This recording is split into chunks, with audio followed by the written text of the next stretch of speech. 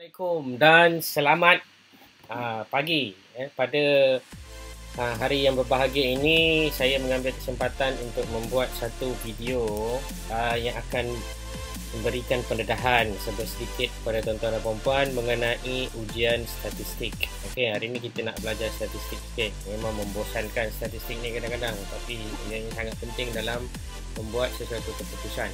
Mari kita mulakan apa yang saya nak pelajari uh, share kepada tuan-tuan dan hari ini adalah mengenai ujian KAI kuasa 2 ujian KAI kuasa 2 Okey, ujian KAI kuasa 2 ini adalah salah satu ujian non parametrik Okey, non parametrik alright.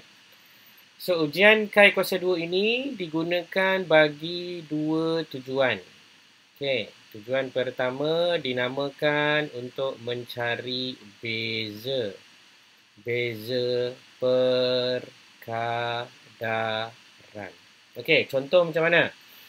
Contoh kita ada satu benda yang kita jual. Katakanlah kita ada jual uh, coklat. Eh? Kita ada coklat A, B, C dan D. Nah, ini jenis-jenis coklat lah. Ini coklat chip ini coklat udang, ini coklat masak uh, asam, ini coklat masak ayam merah misal katalah.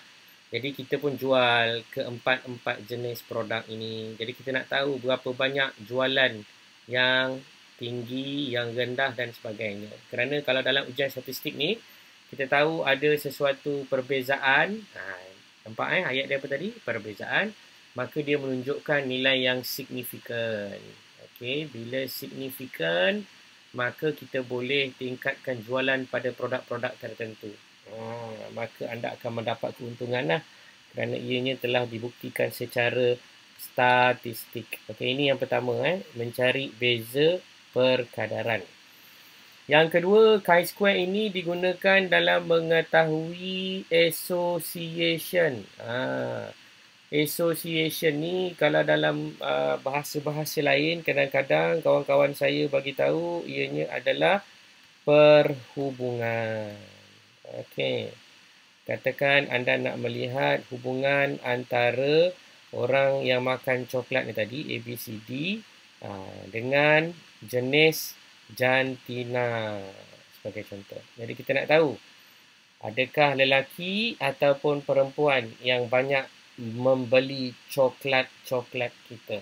Okey, so itu yang pertama mengenai chi-square.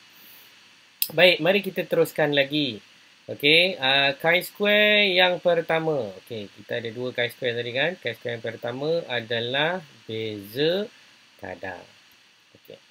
Beza kadar ni digunakan untuk melihat ada beza ataupun tidak pada kumpulan. Okey. Jadi beza kadar ni dalam bahasa Inggeris ianya dinamakan sebagai goodness of fit. Okey, goodness of fit. Ianya juga terbahagi kepada dua. Ha, dia bagi kepada dua pula dah. Ha, itu kaedah dia. Eh. Yang pertama dinamakan beza kadar setara. Yang lagi satu namanya tidak setara. Okey, ini ujian hipotesis eh ujian hipotesis. Okey, ujian hipotesis.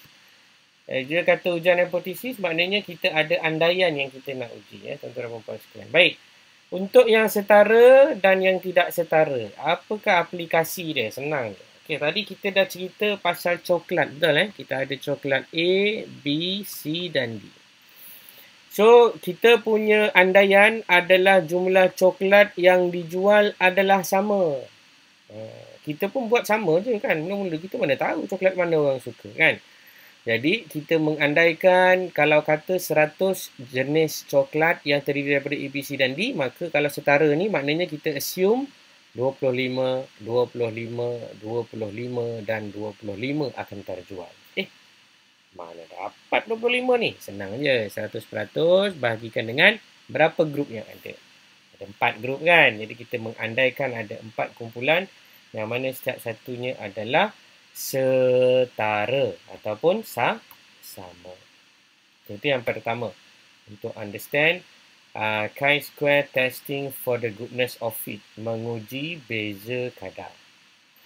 Yang kedua, chi-square testing for the goodness of fit ini juga ada yang nama lagi satu dinamakan tidak setara. Ha. Contoh coklat juga senang. Ha. A, B, C dan D. Ini jenis-jenis coklat. Ini pula adalah bulan. Ha. Katakanlah bulan Februari dan bulan Mac. Okey, mengambil kira bahawa MCO tidak terlibat eh dalam episod ini tak ada. Maknanya jualan sama je. Ah, tak ada efek pun terhadap MCO ni. Misal lah kata. Okay. So, kita akan ada data dah. Ha, itu sebab bila anda berniaga, data tu penting. Jangan tahu niaga je, data tak tahu nak organize. Ha, akhirnya, anda tak boleh mendapat optimumkan jualan anda. Rugi. Eh?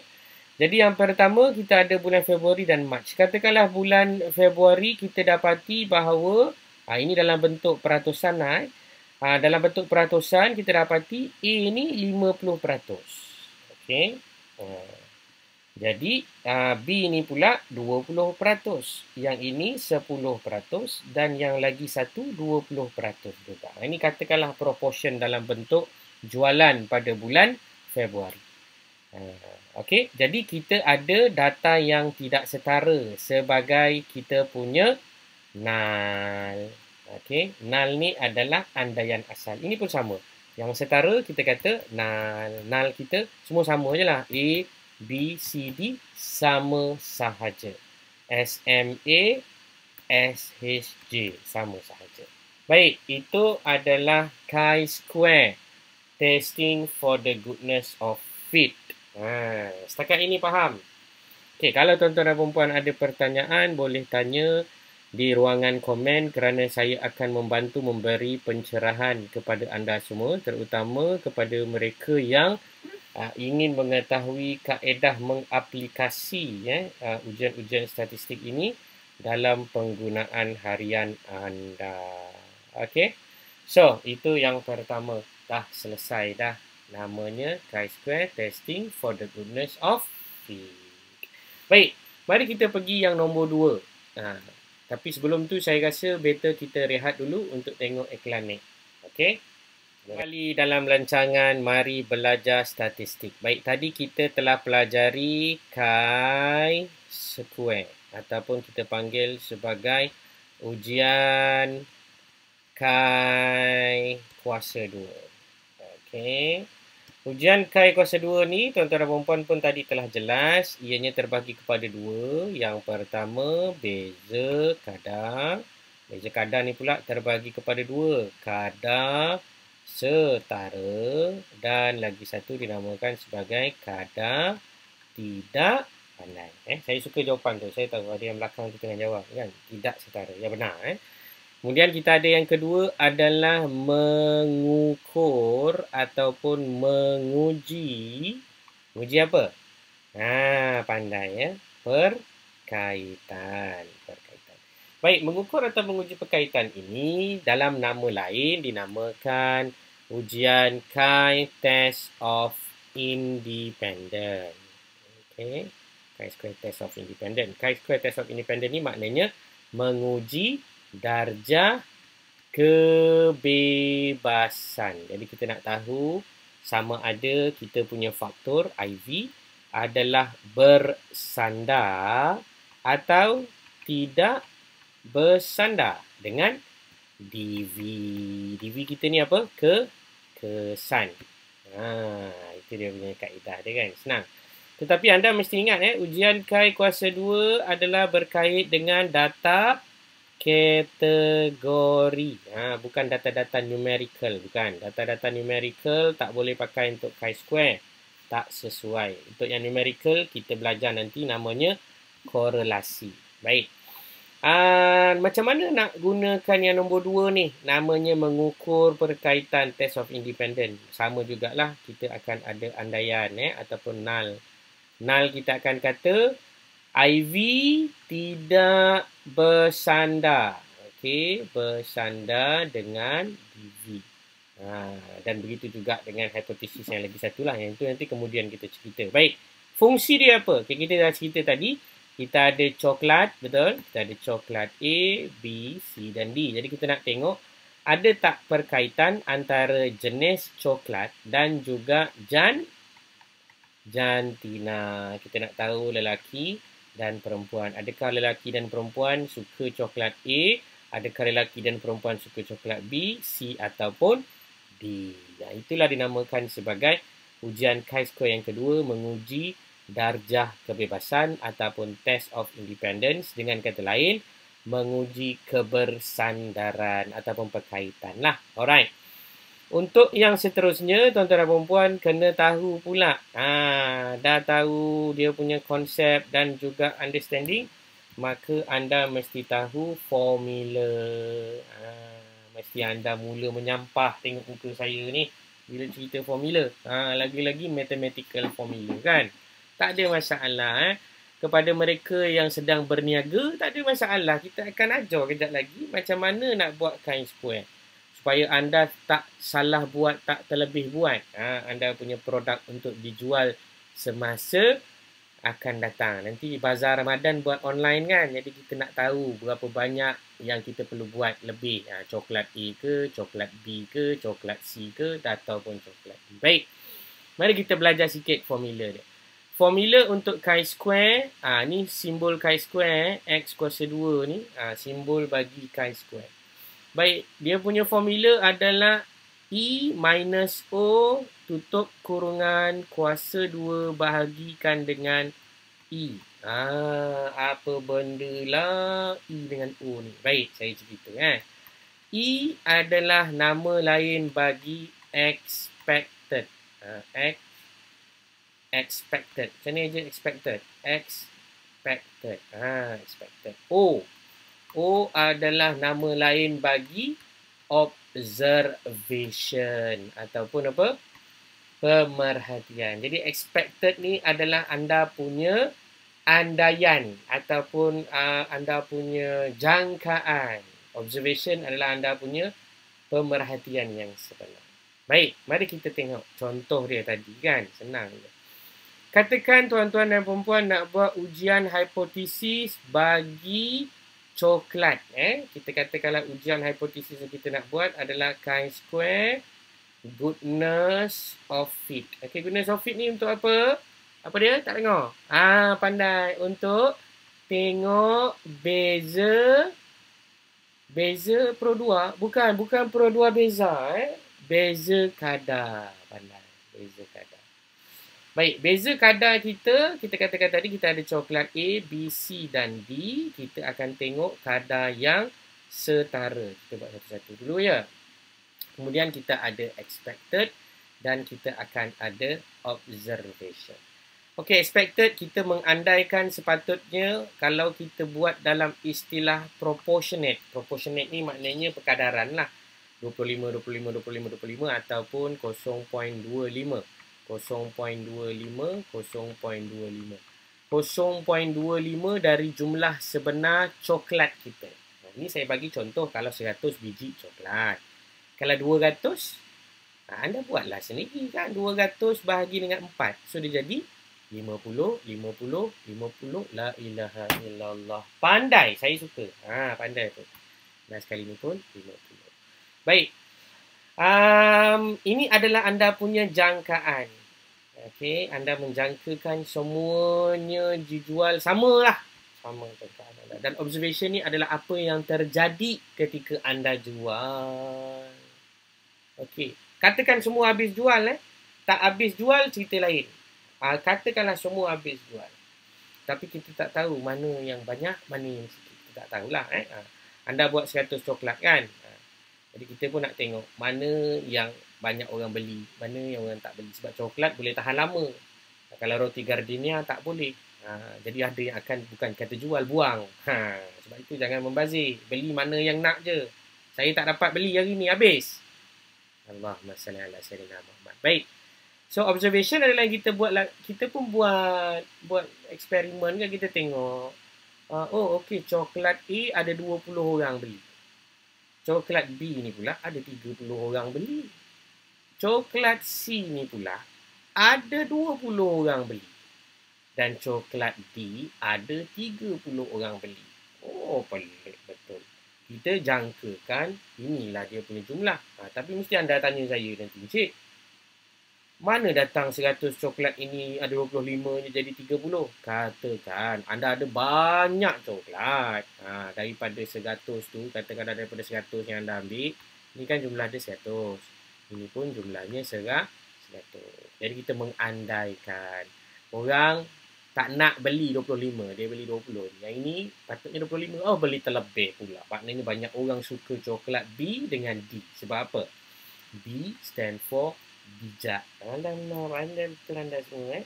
D stand for apa dia? Dungu. Salah. Bijak dengan dungu dia jadi kontra. Tak boleh eh. Okey, B dengan D sebab memang sedap lah kan. Yang ini coklat masak asam. Yang ini coklat masak lemak cili api dia ada rasa manis dengan lemak kat situ. Baik, kemudian kita ada formula menunjukkan expected minus O. Betul tak? E tolak O. Kita tolak lah. 25 tolak 20. Dapat berapa? Allahu Akbar. Pandai. 5 eh. 25 tolak 30. Negatif 5. 25 tolak 20. 5. 25 tolak 30. Negatif 5. Dan kita tengok dalam formula dia kata apa? Expected tolak observation kuasakan dengan 2. Jadi kita akan buat lagi satu jadual E tolak kosong yang dikuasa 2 kan. Pandai eh. So 5 kuasa 2, 25. 5 kuasa 2, 25. 5 kuasa 2, 25. 5 kuasa 2, 25. Okey. Selepas habis buat benda ni, maka kita akan ada step yang second last ataupun kedua terakhir dinamakan sebagai expected minus observed the power of 2 dibahagikan dengan expected. Okey. 25 adalah kita punya data ni tadi betul.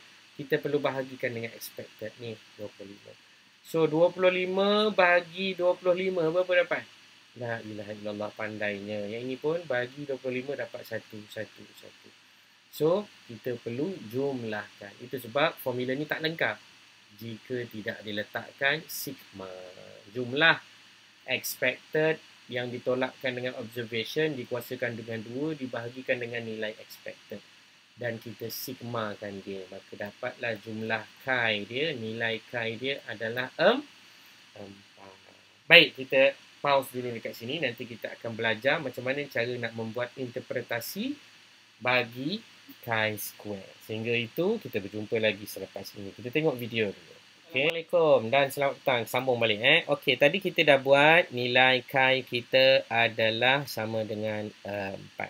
Baik. Nah, nanti sekejap lagi saya akan tunjukkan kepada tuan-tuan dan puan Anda perlu lihat satu jadual. Okay, ada satu jadual dinamakan jadual chi.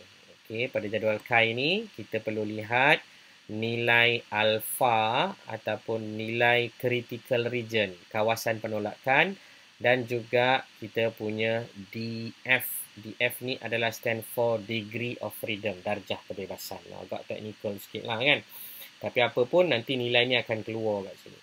So katakanlah nanti kita tengok kejap lagi kita akan dapat nilai dia 3.841. Jadi anda ada nilai K yang anda kira ni tadi berapa? 4 anda perlu bandingkan dengan 3841 dan anda akan membuat sesuatu keputusan. Adakah anda nak reject ataupun tak nak reject? Tak nak reject apa? Null hypothesis. Okey. So kita nak belajar sekarang macam mana cara nak buat ujian hipotesis. Baik. Mari kita mulakan ya tuan-tuan dan puan-puan sekalian. Ujian hipotesis. Ya Allah, apakah itu ujian hipotesis ya? Ujian hipotesis ada lima step. Ujian hipotesis ni ada lima. Okey, step yang pertama adalah dinamakan menyatakan. Okey, menyatakan null dan juga alternatif. Alternatif apa? Hypo hipotesis. So apa null kita tadi? Kadar coklat Nah, A, B, C, D dijual adalah adalah apa? Pandai. Saya suka jawapan tu eh. Sama. Okay, ini dia punya kata kunci dia. Dan alternatif kita, kita akan kata kadar coklat ABCD yang dijual adalah tidak ha, tidak sama. Ini step yang pertama. Ha, dalam nak buat ujian hipotesis ni, biasa kita akan cakap macam ni lah. Kalau dalam bahasa saintifik, kita akan kata there is, apa dia? There is no significant difference of uh, chocolate being sold uh, between different group ataupun between different type. Okay, uh, ini kita punya ayat ni. There is no significant difference. Tidak ada perbezaan signifikan uh, coklat yang dijual ABCD tadi dalam bahasa saintifik lah. Kadang kita nak buat ujian hipotesis ni semua benda nak saintifik kan. Ini saya ajar dua-dua cara kampung dan cara saintifik. Yang kedua, kita ada ujian hipotesis yang dinamakan alternatif. Okey, alternatif ni apa benda lah pula ni? Macam alternator ni dia. Alternator bukan, itu untuk charge bateri kereta korang. Eh? Jadi alternatif ini bermaksud kita akan buat satu benda yang selain daripada andaian asal. So asalnya kita akan kata sama je. Tak ada beza pun coklat A, B, C, D. Semua orang akan beli sama je. Orang akan beli coklat A, Orang akan beli coklat B, orang akan beli coklat C, orang akan beli coklat D. Nanti saya tunjuk kepada anda semua macam mana nak tengok perbezaan kadar ini terutama apabila anda ada data perniagaan yang sebenar. Okey, saya akan tunjukkan kepada anda bila anda ada data yang anda dapat daripada online order yang anda buat kat Facebook, kat mana-mana tu, ah, maka anda perlu buat analisis data untuk merancakkan lagi jualan. Kalau tak buat analisis, Masya Allah kana wa malam ya sya'lam yakun. Tak cukup lagi usaha anda untuk meningkatkan jualan. Ya. Baik, untuk alternatif kita akan kata apa? There is significant. There is a significant difference of the chocolate being sold according to the different type. Maknanya kita berandaian ada perbezaan sebenarnya antara uh, coklat yang berjaya dijual sama ada coklat A, coklat B, coklat C ataupun coklat D. Itu step yang pertama ataupun langkah yang pertama dalam nak buat ujian hipotesis. Baik, mari kita pergi kepada step yang kedua. Kita ada lima step ni, panjang video ni. Eh. Kalau tak minat belajar, tak apa. Ada orang yang minat. Ha. Ini bahasa Melayu. Bahasa Inggeris nanti saya buat kemudian. Ini untuk tolong orang-orang dalam negara saya yang nak faham belajar statistik ni. Okey, yang kedua kita ada yang dinamakan sebagai step alpha. Alpha eh. Alpha ni adalah kawasan penolakan. Ha, penolakan. Maknanya beberapa akurasi. Ha, kita punya accurate tu berapa? Okey, biasanya jumhur ulama bagi tahu 0.05 nilai uh, rejection region, kawasan penolakan kita. Anda boleh pergi lebih rendah lagi, 0.01. Anda boleh pergi lagi rendah, 0.001 pun boleh. Tak kisah. Uh, ni contoh dia macam anda tengok iklan Lifebuoy. Ingat? Lifebuoy Dettol kan dia kata membunuh 99.99% kuman. Kenapa dia tak cakap 100%? Ha, tak boleh. Sebab mesti ada juga error dekat situ. Jadi error itulah yang dinamakan sebagai al alpha. So kalau dalam ujian uh, life boy apa nama lagi tu uh, detol lah. Dia gunakan alpha dia nilai akurasi dia 0.01. Uh, sebab apa? Sebab nak nampak lebih accurate. Uh, maknanya memang mati kuman. Kalau nak lagi bagus, saya buat satu brand baru namanya pembunuh semua. Yang itu 99.9999. Wow. Lagi akurasi dia tinggi. Seberapa nilai alfa dia? 0.0001. Sangat, sangat, sangat, sangat, sangat, sangat accurate. Ha, itu tujuan dia kita setting alfa. Tapi jumhur ulama bagi tahu cukup sekadar kita melihat kepada nilai 0.05 sebagai kita punya cut off. Ha, okay. Step yang nombor tiga dinamakan sebagai run or calculate uh, serta plus report. Jadi anda perlu run. Run ni kalau nak guna ujian statistik bagi guna software lah. Sama ada nak guna uh, chi-square, eh sama ada nak guna SPSS, nak guna Jamovi, JAPS, ataupun nak guna Excel. Nanti saya tunjuk dalam video yang akan datang. Jika tuan-tuan dan puan-puan berminat, boleh rujuk kepada link yang disedia di bawah. Ha, ataupun anda boleh tanyalah, saya akan bagi tahu nanti ha, video macam mana nak buat chi-square menggunakan Microsoft Excel, menggunakan uh, SPSS dan juga software-software lain. Tapi tadi kita dah kira secara manual kan. Kita dah kira secara manual. Maka chi-square kita tadi value dia adalah sama dengan M. Baik. Kita pergi pula kepada step yang second last. Step yang nombor 4 dinamakan sebagai decision. Okay, decision ni dalam bahasa lain kita namakan sebagai membuat keputusan. Membuat keputusan. Okay, kita perlu buat keputusan lah sama ada kita nak reject okey ataupun tak nak reject ha apa benda reject dengan tak reject ni ada dua reject null ataupun tak payah reject null. Ha ni anda punya andaian bila masa nak reject null kita akan reject null apabila nilai p kurang daripada alpha. Kurang daripada 0.05 tadi.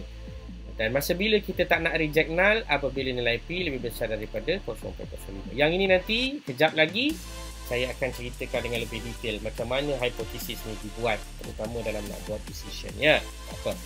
Yang kelima kita akan buat conclusion ataupun kesimpulan. Baik, kita rehat dulu. Kita tengok iklan. Ha, nanti kita sambung balik sekejap lagi ya.